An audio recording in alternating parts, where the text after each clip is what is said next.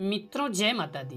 कैसे हैं आप सब? ये बताने के लिए कमेंट में जय माता दी ज़रूर लिखें। माता रानी, आप सभी का कल्याण करेंगी। मित्रों चंद्र ग्रहण के दौरान क्या करना चाहिए और क्या नहीं करना चाहिए, जानेंगे इस वीडियो में।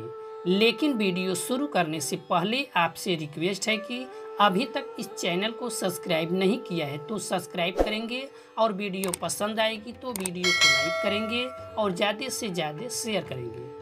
मित्रों चंद्र ग्रहण पर कुछ कार्य करना वर्जित माना गया है।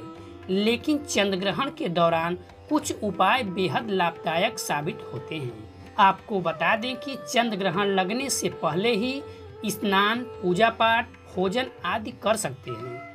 चंद्र ग्रहण काल में घर में शांति बनाकर रहना लाभदायक होता है। चंद्र ग्रहण में दान करना बहुत फ़ायदेमंद माना जाता है।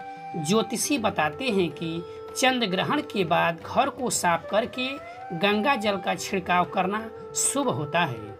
चंद्र ग्रहण के दौरान किसी भी खाने पीने की चीज़ पर तुलसी का पत्ता अवश्य रखना चाहिए। चंद्र ग्रहण काल में गर्भवती महिलाएँ अपने आसपास नारियल का गोला अवश्य रखें। चंद्र ग्रहण के दौरान शुभ कार्य करना वर्जित माना गया है। इस काल में भगवान की मूर्ति को नहीं छूना चाहिए और ना ही मंदिर के अंदर प्रवेश करना चाहिए। हो सके तो अपने घर के मंदिर के कपाट को भी बंद रखना चाहिए।